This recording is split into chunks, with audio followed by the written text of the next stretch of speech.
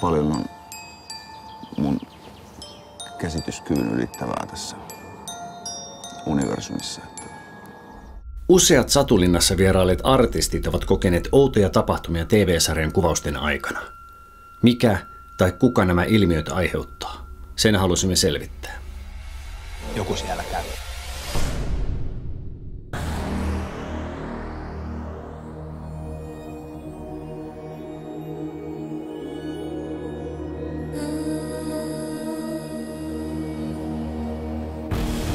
Keväällä 1925 päätettiin vuosien kädenväännön tuloksena rakentaa Hirvensalmelle vaivaistalo.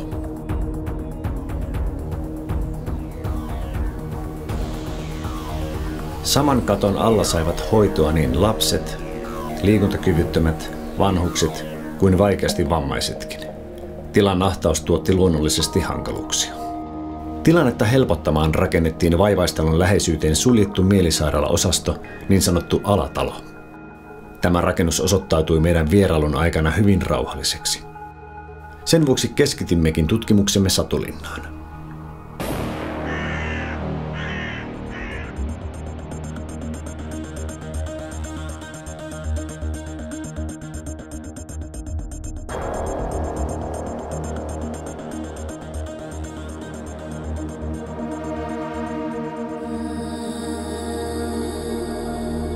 Täällä on jo useiden vuosien ajan monet eri ihmiset kokeneet yliluonnollista, paranormaalia aktiviteettia.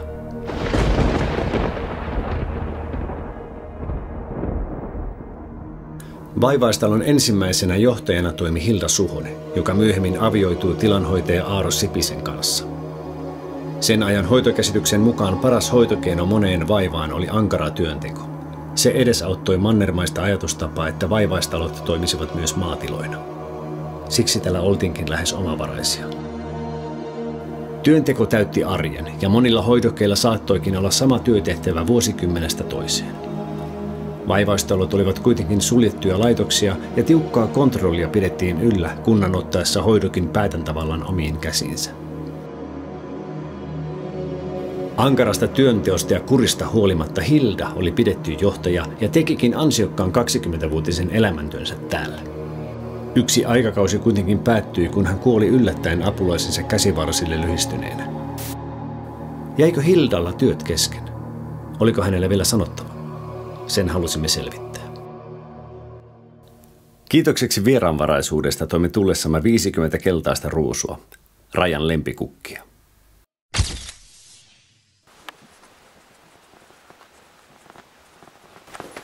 Mahtavaa. Kiitos. Kiitos.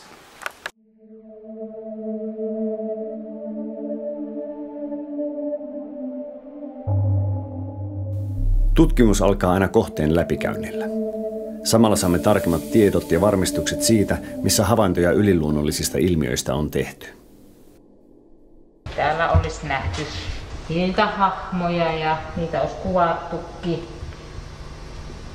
Oliko se niin, että täällä käytävällä on nähty kaksi eri kertaa? Joo. Joo.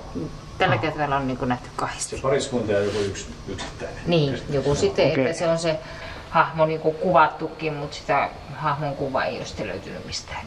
Joo. Satulinnasta löytyy myös vanha arestikoppi hankalasti käyttäytyneitä asukkaita varten. On ollut Jonne nukkumassa ja ensimmäisen yön jälkeen se on halunnut vaihtaa tästä huoneesta sitten pois, kun täällä on ollut levottomuutta. Tuo varmaan tulee olemaan sitten meidän hotspottipaikka, niin kamera tulee tänne. Joo, todennäköisesti joo. Ei mitään mahdollisuutta. Jos ne, jos ne näin kiinni on ollut, niin ei tämä tästä niin itsestään. Ennen tutkimusta pyrimme sulkemaan pois kaikki luonnolliset selitykset. Jatkoimme huoneeseen 14. Tätähän pidetäänkin semmoisena kummitushuoneena. Eli tämä nyt on semmoinen huone, huone että tota, on niin ovelle koputettu ja sitten on tullut näitä ahistuksia ja muuta. Että... Aivan. Mm. Tämä on se yksi toinen meidän hotspot-huone, mm. huone numero 14. Mm.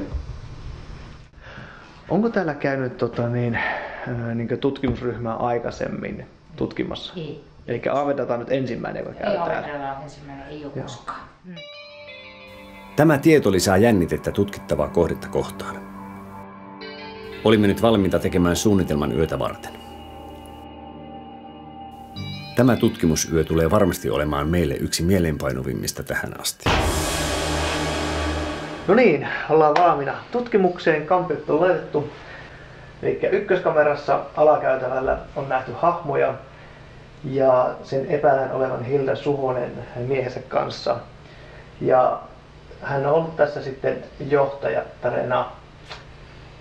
Kakkoskamerassa on sitten niin sanottu kummitushuone numero 14.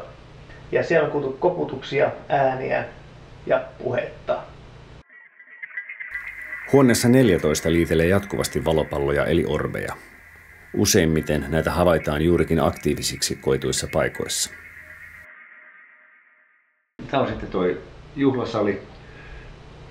Tässä näkyy nämä kolme ikkunaa, niin yhdestä ikkunasta yksi hoidokki on ulos ja menettänyt henkensä siinä. Neloskamera meillä on tuolla yläkerrassa. Siellä on yksi artisti nähnyt yhden hahmon ovella. Sitten sängyssä ollut painaumia. Ja sitten semmoista tunnetta, että yöllä joku kulkee eestakasi huoneessa koko ajan, ettei saa nukuttua. Sitten sen lisäksi meillä on tuolla kokoustilassa yksi kiinteä kamera ja siellä on kuultu askelia. Siellä on myös sitten sanelmit niin kuin jokaisessa muussakin paikoissa.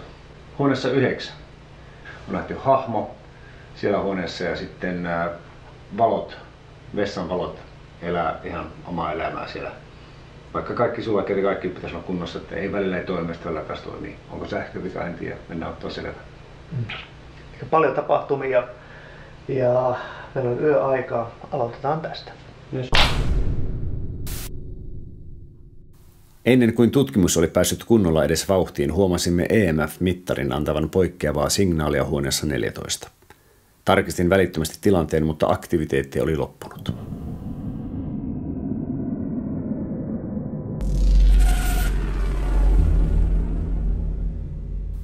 Pidimme saman tien ensimmäisen istunnon kyseisessä huoneessa. Yritimme houkutella vaivaistalon aikaisia asukkeja esiin. EMF-mittari kertoo sähkömagneettisen kentän muutoksista. Aaveiden uskotaan omaavan sähkövarausta, mikä aiheuttaa siten muutoksia EMF-kentässä. Pien Aino, jos sä oot tässä huoneessa, tossa on sulle nukke. Saat leikkiä sillä. Se on ihan sua varten tänne tuotu. Okei. Mun nimi on Jupe. Mä oon Marko. Minä olen Moilanen. Ja Moilasen Raija. Mm. Ja me halutaan nyt keskustella sun kanssa. Tuu puhumaan meille. On, onko sä täällä meidän kanssa? Joo. Joo. Ghostbox on laite, joka skannaa radiotaajuuksia muodostaen myös valkoista kohinaa. Tämän uskotaan antavan mahdollisuuden keskustella henkien kanssa. Voitko sanoa Raijan sukunimen?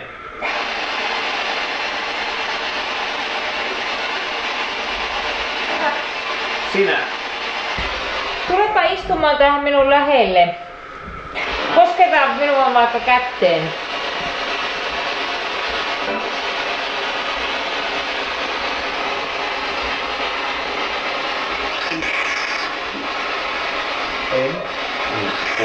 Joo. Ota Raijaa kädestä kiinni. Raija on teille varmasti tuttu.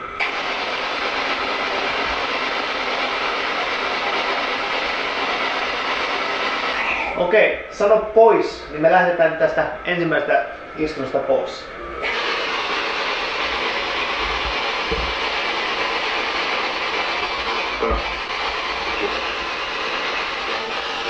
Mitä? Okei, heippa, me lähdetään pois, tullaan takaisin sitten. Heippa! Heippa! Moi moi. Ensimmäinen istunto oli rauhallinen. Tunnelma oli kuitenkin hyvin odottava. Jatkoimme alakäytävälle, jossa Hildan ja Aaron hahmot oli havaittu. Okei, Hilda Suhonen. Tervetuloa juttelemaan tänne meidän kanssa. Täällä on nähty sinut, sun miehes. Olisi aivan mahtavaa nähdä teidät uudestaan. Raija on täällä nyt niin talon emäntänä. Hän tulla kertomaan terveiset Raijalle, että miten Raija on hommansa hoitanut. Antaa palautetta. Mä toivoisin, että kävelette ihan käytävän päästä toiseen päähän. Tätä näin. Silloin meillä olisi mahdollisuus havaita. Joo. Jupella on tuo laite tuossa kädessä, semmonen punainen valo. Tämä EMF-mittari on hyvin tarkka. Laitteessa on lisäksi muita hyödyllisiä ominaisuuksia. Ja siinä on semmonen antenni. Niin käykäs koskee sitä, niin siihen saadaan vähän eloa, valoa ja ääntä tuohon. Käykääs testaamassa. Kyselimme jälleen kysymyksiä, mutta alku tuntui piinaavan rauhalliselta. Tuntui kuitenkin, kuin meitä olisi odotettu ja että vastaukset tarjottaisiin myöhemmin. Käytävä on tyhjä tällä hetkellä. Käytävä on tyhjä. Hyvä. Okei, me jatketaan taas matkaa. Tullaan tänne sitten uudestaan. Aiemmissa tutkimuksissamme alku on ollut useasti rauhallinen. Niin tässäkin tapauksessa.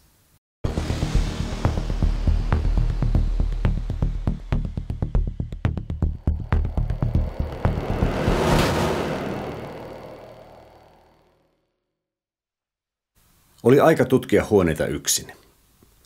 Menin yläkerran kokoushuoneeseen, jossa on kuultu jonkun näkymättömän liikuskelvan edestakaisin. Tunnelma huoneessa oli hyvin sähköinen.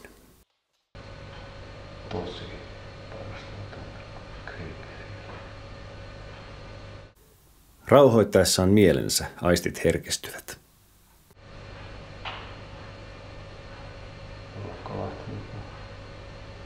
Voisitko paukottaa uudestaan?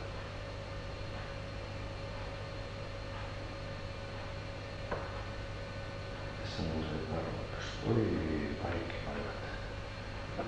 Uhuh. Tunnelma tiivistyi ja tuntui, kuin joku olisi hengittänyt niskaan. Saat näkyä valot sitten. Sieltä. Onko se vilahtanut? Äh, siis tässä tilassa pattereiden noin säätimet vaihtaa asentoa. Niin, niin. Ehkä se on joku ihan tekninen vika, mutta niin käyn tsekkaan ollut. Tsekkaan ollut. Sama napsahdus kuului nyt toistamiseen, mutta kovempana. Vaikuttiko pyyntö tähän? Tarkistin jokaisen patterin säädöt, mutta muutoksia ei ollut tapahtunut. Aloitin kyselemisen Ghostboxin kanssa.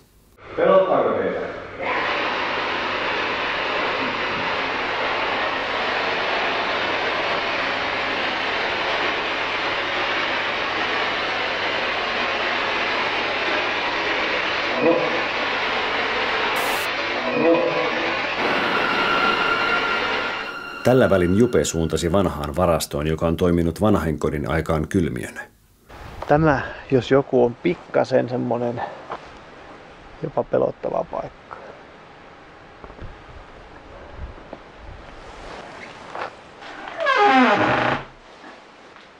Ja vahvat vibat. Jupe aloitti välittömästi kyselyn. Tervetuloa juttelemaan mun kanssa. Mä oon Jupe. Onko täällä joku mun kanssa? Kuka? Kuka on mun kanssa? On. Ootteko te maannut tässä kuolleena? Vuorotellen ehkä. Onko teitä enemmän kuin yksi nyt? On.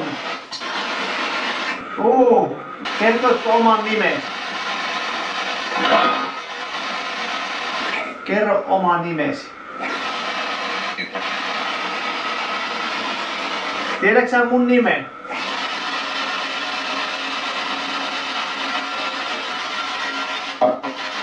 Hieman meni nimi väärin, vaikka samaa näköä meissä onkin. Onko täällä joku, joka on jäänyt jumiin tänne?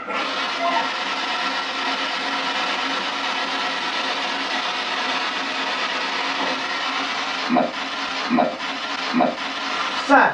Hyvä, kiitos. Sanotko nimes?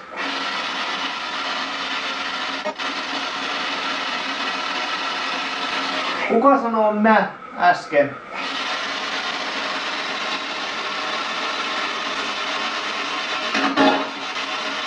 Nyt tuli Jupen nimi oikein. Voitko sanoa mun nimen?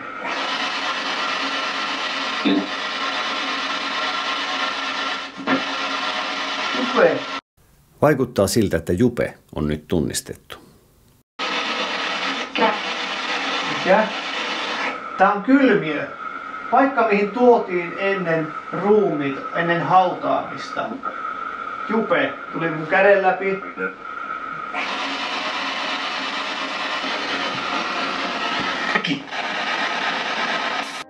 Onko siis vastaajana Aki, joka tuli tässä istunnossa jo läpi kaksi kertaa?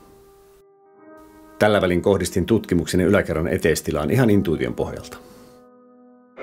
Onko tässä joku tilassa joku muu minun lisäksi? Voisitko sä sanoa oman nimesi? Mä oon Marko.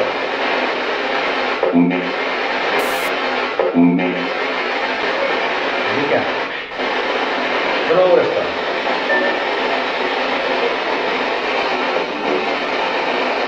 Tässä vaiheessa en ymmärtänyt Anni-nimen mahdollista merkitystä. Kerron myöhemmin, mitä salaperäisen nimen takaa löytyikään. Mitä sä täällä teet? Ei saa hermostua. Ihan rauhassa.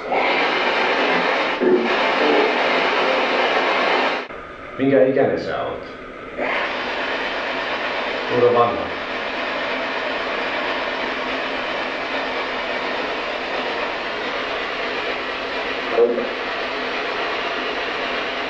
Kolme.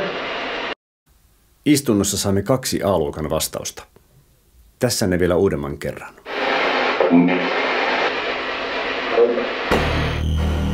Kerro oma nimesi. Isä. Sanotko isä? Kerro oman nimesi. Jupe tunsi vahvasti, että hänen takanaan seisotaan. Pilkku pimeässä ei näkynyt ketään. Te olette saattanut jäädä tähän näin. Tähän samoille tiloille. Te ette päästä tätä eteenpäin. Mä haluaisin kuulla, oottako te vielä tässä? Hilda, onko sä täällä?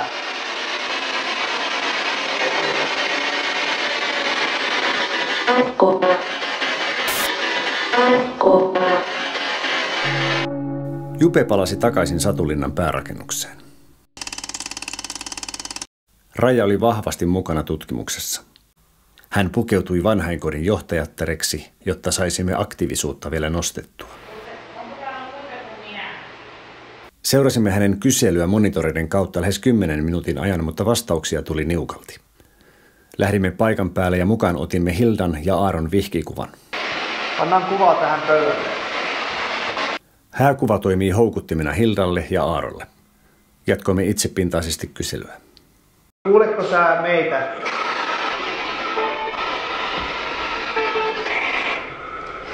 Kuuletko sä meitä? Kolmannella kertaa saimme selvää vastauksesta. Niin kuin mä Rajalle sanoin tuossa aikaisemmin, jos sä Hilda oot täällä, niin sä oot semmonen nainen, mä haluaisin halata sua. Voisitko sä tulla tänne, että mä voisin halata sua?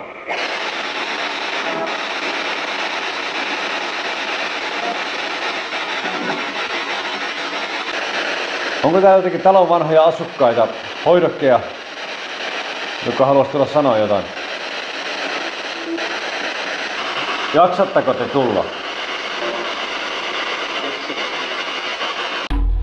Kysymyksemme oli kuultu. Miltä, mitä tuntuu? Saiko sä mitään vaan... Siis ihan kuin jotakin vastauksia olisi tullut.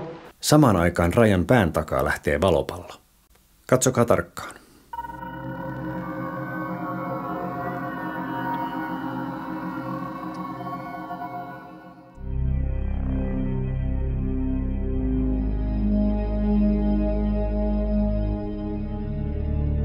Satulinnassa vierailleet artistit ovat kokeneet useita outoja ilmiöitä.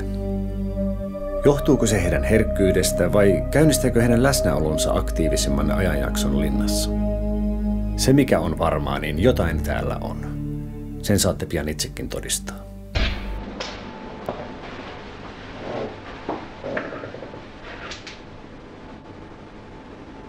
Ihan tiedoksi vaan kuultiin joku ääni tuossa äsken.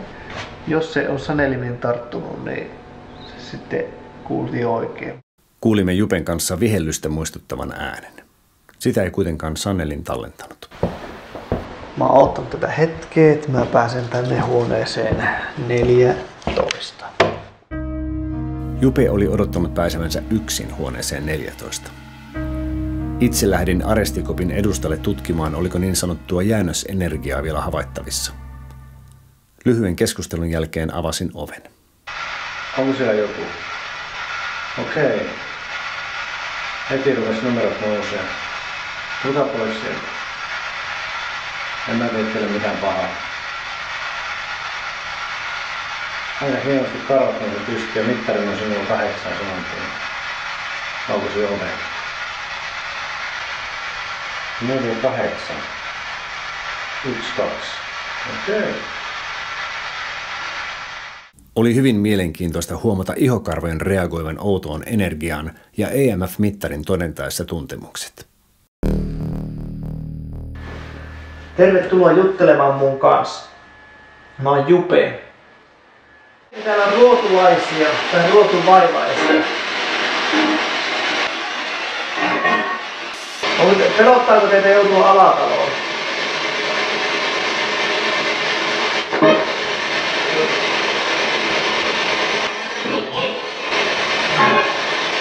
Oletteko te joutunut alataloon?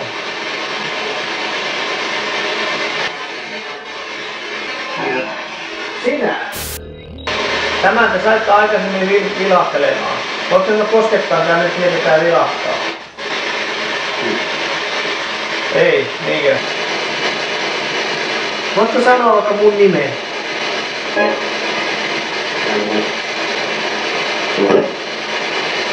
Kun pyydämme toistamaan tiettyä sanaa ja saamme vastauksen, niin se antaa meille mahdollisuuden jatkaa keskustelua ja viedä sitä eteenpäin. Kuka sinua miellytti eniten? Oliko Jari Sillanpää, Jonne Aaron, Katri Helena, Paula Vesala? Tämä asia tuli selväksi. Herätettiinkö Vesku, Tomi Virtanen, Elastinen samaan aikaan kello neljä?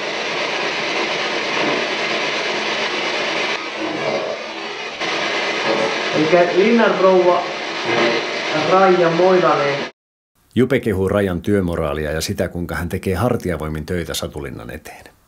Voitko sanoa Raijalle hei?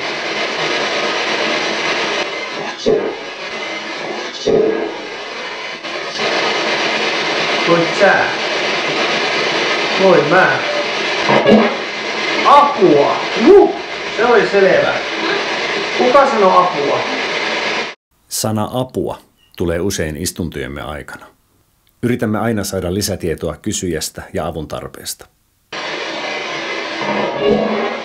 Avunpyynnön jälkeen Jupe tuntee jotain outoa oikeassa kädessään. Pidä sä kiinni mun oikeasta kädestä. Mä sanoin, että sä voit koskettaa mua. Koskettaa mua. Pidän, niinkö? No sittenhän sä voit vilkuttaa niitä valoa ja mä tiedän, että sä oot tässä. Ei. No mulla tuntuu, että joku koskis mun oikeaa kättä nyt. Ihan niin kuin oikein pitää se olisi kiinni. Haluatko mä auttaa sua?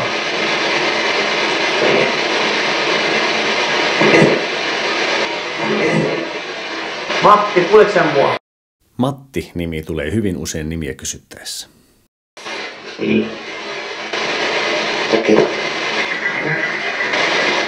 Voitko sä sanoa tämän paikan nimen? Tämä on Satu. Tämä vastaus on jälleen parasta A-luokkaa. Kuunnellaan uudestaan.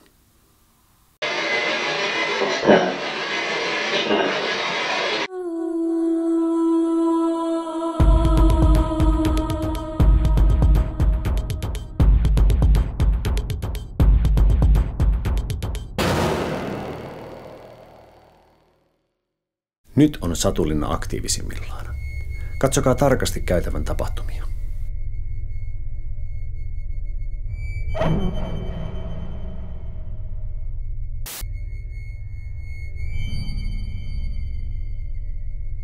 Tämän jälkeen ovi menee kuin nykäisten takaisinpäin.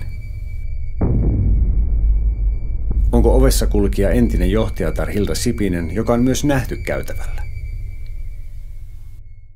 Jupe jatkaa onnistunutta istuntoa huoneessa 14. Kukas tässä on?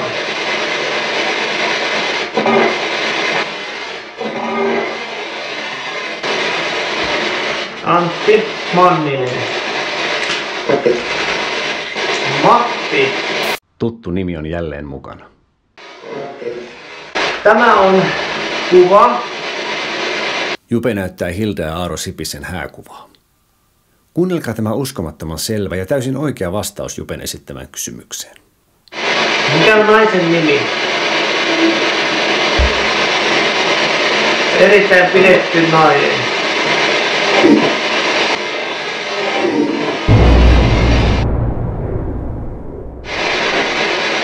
Vasta toista Aaro. Tämä murahdukselta kuulostava ääni tipautti leukamme, kun kuuntelimme sen takaperin. Kuunnelkaa tarkasti.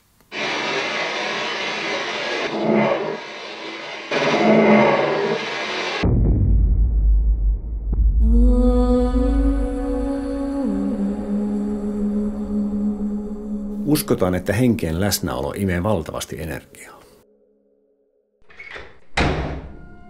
Pienen paussin jälkeen jatkoimme takkatilaan. Tänne saavuimme täysin intuition luottaen. Kerroimme Rajalle, miksi nykyään luotamme vaistoihimme vahvasti. Tämä on tullut todistettua useasti tutkimusten aikana.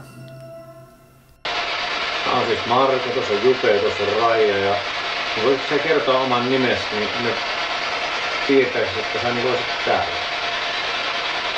Ghostbox pysyi aluksi vaiti. Onko täällä ketään? On. on. Etkö sinä tässä jossakin lähellä?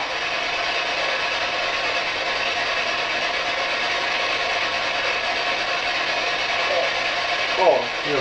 No. No hyvä. Voitko sä tulla tota ihan vaikka Raijan viereen?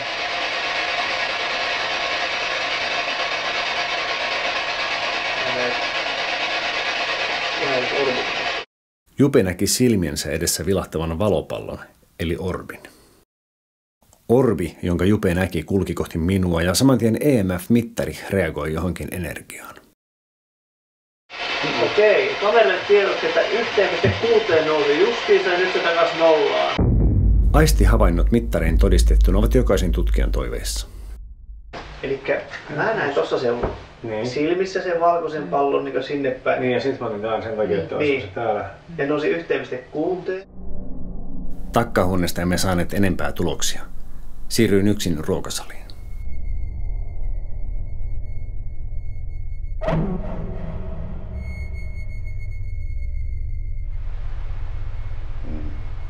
Kaikista arjemmat kaverit vois kuvitella, että missä peräpöytään.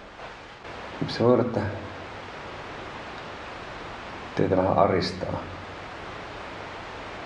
jutella mun kanssa.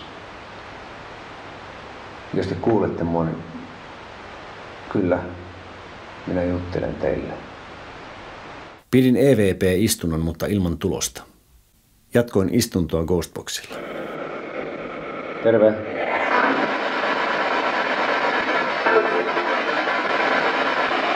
Onko sillä toisella puolella, onko siellä aikaa? Aikakäsitys.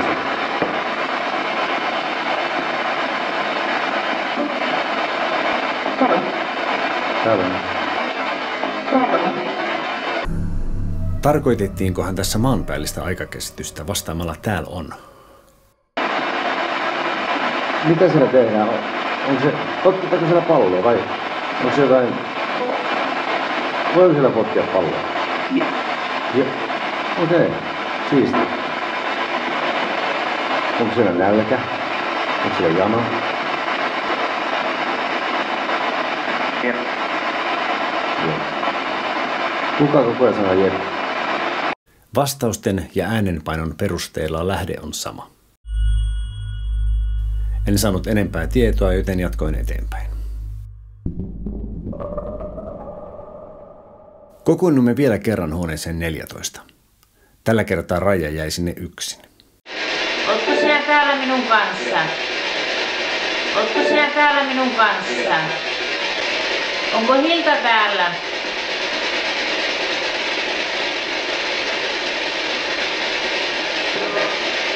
Tuletko tähän minun lähelle? Tuletko? Raida. Tuletko? Raida. Rajan nimen mainitseminen kertoo, että joku on tietoinen hänen läsnäolostaan. Jupe varmistaa, ettei valvontakamerassa näkyvät valopallot ole pölyä. Niin, tässä oli säpinää, niinkö? No, joo, oli siinä. Pölystä ei ollut kysymys. Meillä oli vielä muutamia hotspotteja tutkimatta.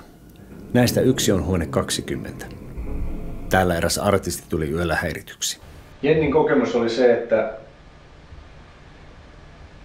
se oli yöllä herännyt. Tuo ovella seisoi joku.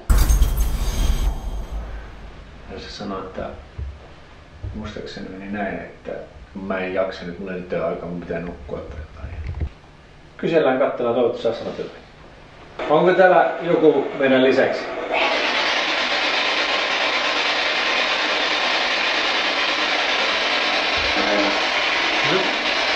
Voitko kertoa oman nimesi?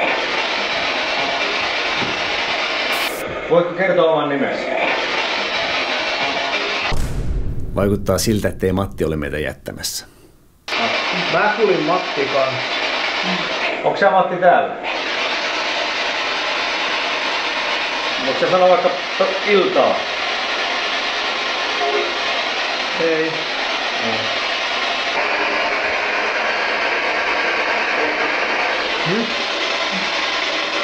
Mitä sä tulet?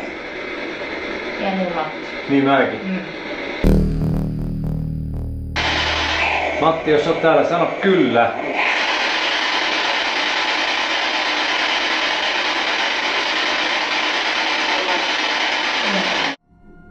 Tämä oli viimeinen vastaus tässä istunnossa. Huoneessa kahdeksan Toni Virtanen kertoi kaapin oven avautuneen itsekseen. Suunnistimme sinne. Istunnon aikana huomasimme hyvin vaihtelevia EMF-lukemia vaatekaapin läheisyydestä. Yritin selvittää sähköenergian lähdettä, mutta lukemat heittelivät liiaksi eikä varmuutta asiaan saatu. Päätin kuvata EMF-mittarin lukemia, jotta vaihtelut saataisiin taltioitua. Heti kun istuin, niin EMF-kenttä nousi rajusti kaapin sisällä.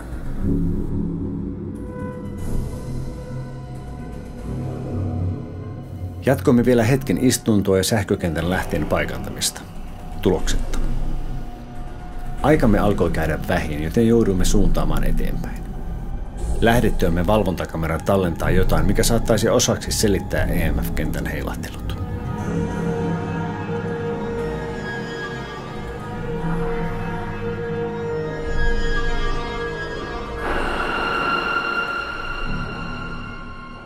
Jupille jäi tunne, että huone 20 saattaisi vielä antaa vastauksia. Kertoisiko nimes?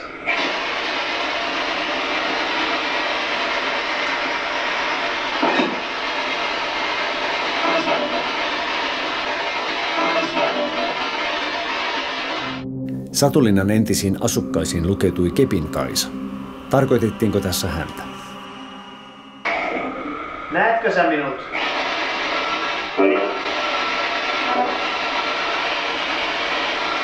Onko tämä Satu?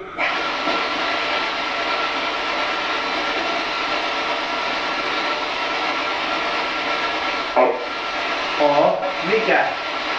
Satu? Tiedätkö kuka mä oon? Tiedätkö kuka mä oon? Matti. Ja sä oot Matti. Kiitos, sä oot taas täällä. Onko täällä huoneessa muita kuin minä?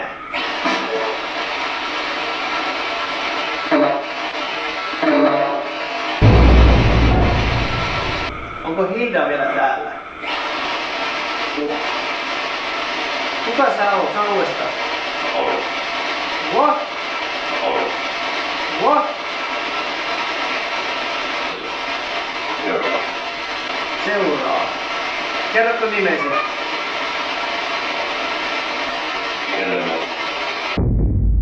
Vahva vastaus jälleen.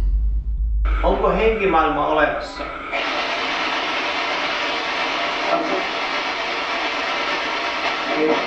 Kuunnellaanpa uudestaan. Pitääkö mulla lähteä pois? Joo.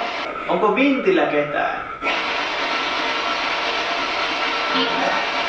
Kyllä.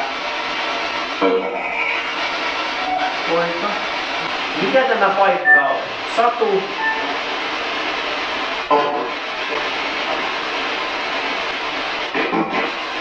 Tämä vastaus on syytä kuunnella uudestaan.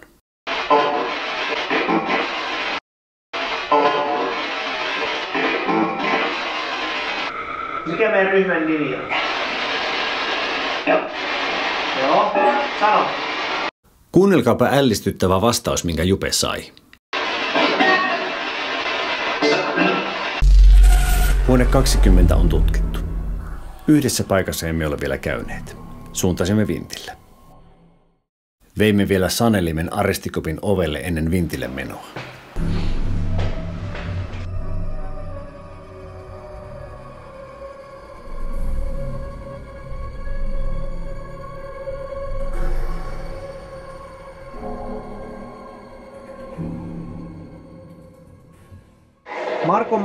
Tuossa paareilla, millä on todennäköisesti kuljetettu, ellei loukkaantuneita, ehkä kuolleita pois.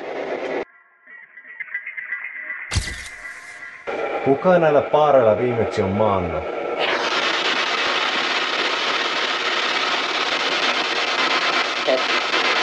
Se. Se on kyllä ihan totta, minä. Jupe jatkoi kyselyä ja itse otin lämpökameran esille. Tämä kamera havaitsee kylmät kohdat ja henkeen uskotaan olevan viileämpää energiaa. Tuohan juttele nyt. Me lähdetään kohta pois. Kuka sä oot? Tää on täällä ketään.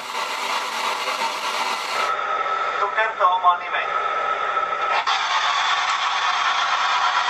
Onko kameraista mennyt joku? Kylmä massa kulkee Jupen ja kameran välistä oikealta vasemmalle. Onko tämä todiste hengen liikkeestä vintillä?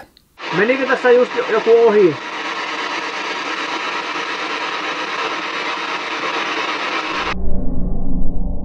Onko vintillä ketään? Sano Jupe. Ei. Täällä on Marko. Sano Marko. Hulda. Hulda. Pojan nimeä emme täältä saaneet, mutta Hulda tuli hyvin selvästi läpi. Kuka tämä nainen on?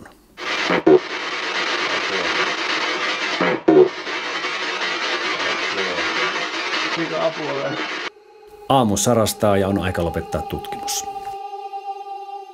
In and out.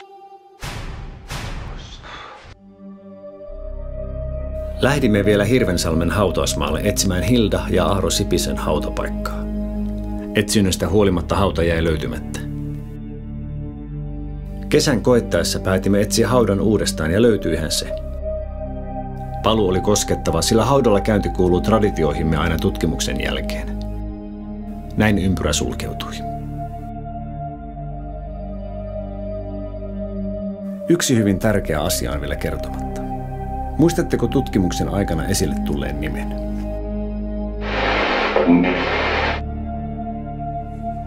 Arvoisat artistit vain elämää ohjelmassa. Katselin Iltalehden artikkeleita ja kuvamateriaalia Hirvensalmen Satulinnasta minullekin hyvin tutusta paikasta lapsuuden ajalta. Haluan nyt lohduttaa niin Jonne Aaronia kuin muitakin, että sen talon kummitukset Hilda-täti ja Aarosetä haluavat teidän viihtyvän siellä hyvin ja varjelevat teitä kaikelta pahalta. Hän on Anni, kirjeen kirjoittaja. Anni muistaa Hildan lapsuutensa ajolta hyvin. Sattumoisin Anni kirjoitti artistille kirjeen, joka saattoi myös meidät yhteen. Tämä on ollut siis niin mahtava kokemus, että me, tässä on kerrottavaa ja muisteltavaa nyt taas ihan vanhuuteen asti. Uskomme, että kaikella on tarkoituksensa. Tutkimuksen aikana saadulla Anni vastauksella, hänen tapaamisellaan sekä hänen kirjoittamalla kirjeellään.